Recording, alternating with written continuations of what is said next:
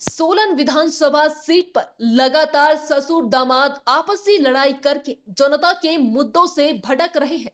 सोलन में आयोजित प्रेस वार्ता के दौरान आम आदमी पार्टी के प्रदेश उपाध्यक्ष विनोद ने कहा कि पिछले कई वर्षों से सोलन में फैमिली ड्रामा चलाकर सोलन की जनता को विकास के नाम पर झुंझुना दिखाया जा रहा है। उन्होंने कहा कि एक तरफ़ कांग्रेस के विधायक धनीराम शांडिल समर हिल से ही सोलन विधानसभा सीट चला रहे हैं तो वहीं दूसरी तरफ़ सीएम जयराम के करीबी माने जाने वाले भाजपा नेता राजेश कश्यप सिर्फ़ लोगों के ट्रांसफ़र करने में व्यस्त है।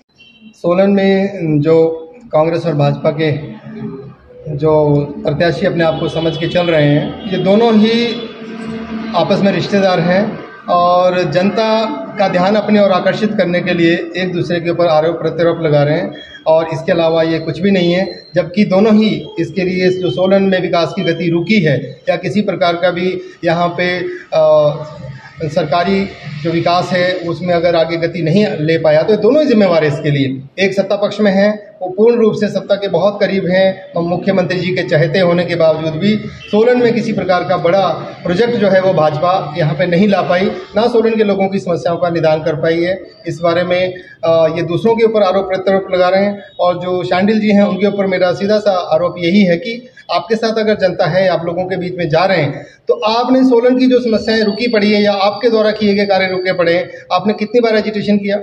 कितने आंदोलन आपने इसके लिए किए, लोगों के बीच में गए?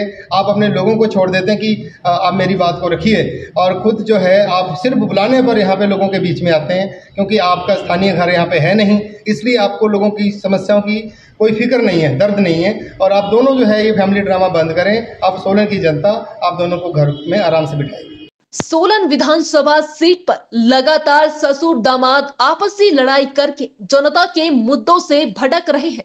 सोलन में आयोजित प्रेस वार्ता के दौरान आम आदमी पार्टी के प्रदेश उपाध्यक्ष विनोद ने कहा कि पिछले कई वर्षों से सोलन में फैमिली ड्रामा चलाकर सोलन की जनता को विकास के नाम पर झुंझुना दिखाया जा रहा है। उन्होंने कहा कि एक तरफ़ कांग्रेस के विधायक धनीराम शांडिल समर हिल से ही सोलन विधानसभा सीट चला रहे हैं तो वहीं दूसरी तरफ़ सीएम जयराम के करीबी माने जाने वाले भाजपा नेता राजेश कश्यप सिर्फ़ लोगों के ट्रांसफ़र करने में व्यस्त है।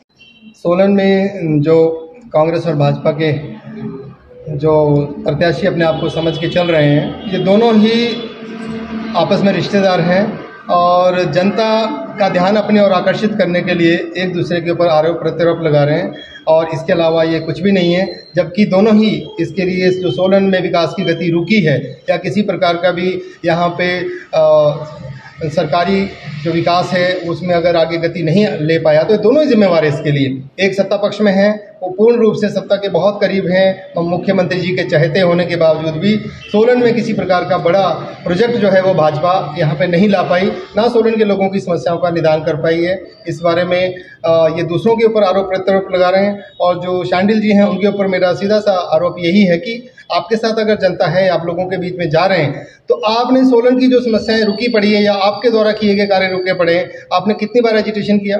कितने आंदोलन आपने इसके लिए किए लोगों के बीच में गए? आप अपने लोगों को छोड़ देते हैं कि आप मेरी बात को रखिए। और खुद जो है, आप सिर्फ़ बुलाने पर यहाँ पे लोगों के बीच में आते हैं, क्योंकि आपका स्थानीय घर यहाँ पे है नहीं। इसलिए आपको लोगों की समस्याओं की कोई फ़िक्र नहीं है, दर्द नहीं है। और आप दोनों जो है, ये फैमिली ड्रामा बंद करें। आप सोलन की जनता, आप दोनों को घर में आराम से बिठाएँ।